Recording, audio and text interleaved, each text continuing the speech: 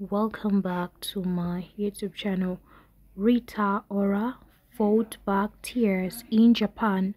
As she performed for you which she recorded with liam payne. Just hours after one direction star's death. So as she was performing in japan she had to sit on stairs and hold the tears back because the song that she was performing that was a song she recorded with Liam. So definitely you feel touched and may his soul rest in eternal peace.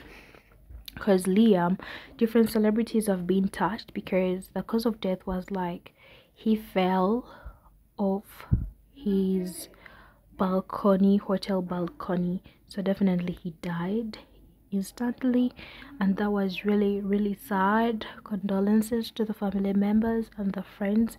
So some of the comments were heartbreaking still in shock. Definitely people are still in shock.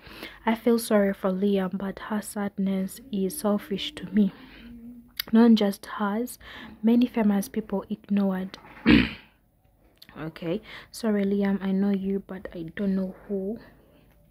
Rita Ora is people or something but all in all guys don't forget to subscribe and may his soul rest in eternal peace